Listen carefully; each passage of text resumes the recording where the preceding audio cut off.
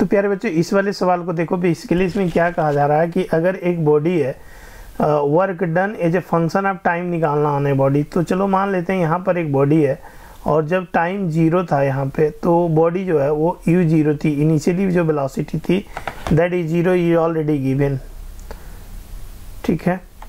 तो यहाँ से नोट पैड बच्चों स्टार्ट हो रहा है इनिशियली यहाँ पे ज़ीरो था अब उस बॉडी का मास एम है, कुछ समय बीता होगा टाइम टी बीत गया होगा तो यहाँ से यहाँ ए से बी तक आने में जो टाइम लगा, वो टाइम टी वन है, ठीक ना? और यहाँ पर जो वेलोसिटी है, उसकी भी हो चुकी है।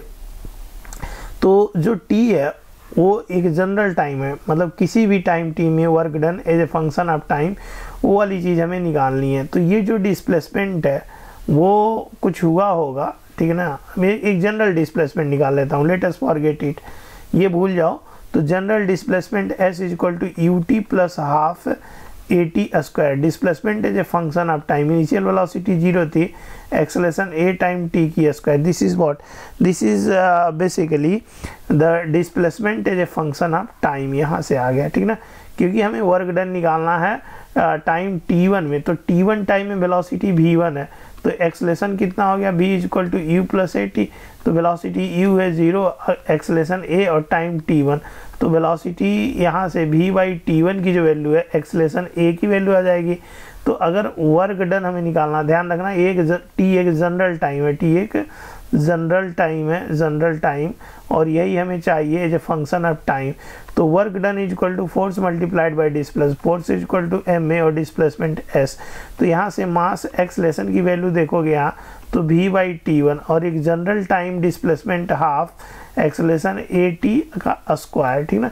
यहाँ से तो यहाँ से यहाँ से M that is V time T one और यहाँ से हाफ़ और एक्सलेशन ए भी बाई यहाँ टी वन अगेन बन गया और जनरल टाइम टी का स्क्वायर तो यहाँ से एम बाई टू यहाँ से एम बाई टू यहाँ जनरेट हो गया। तो एम बाई टू जो जनरेट हुआ है हाँ एम बाई टू यहाँ से हाँ एम बाई टू इधर आ गया और भी भी और टी वन का यहाँ से होल स्क्वायर बचा और इधर टी स्क्वायर बचा, ठीक है? तो एम बाई टू भी यहाँ से टी वन का होल स्क्वायर टी स्क्वायर इस हिसाब से तुम देखोगे तो कौन सा ऑप्शन मैच कर रहा है? One by M by two V one T one का whole square T that D option match कर जाता है। Thank you bye bye take care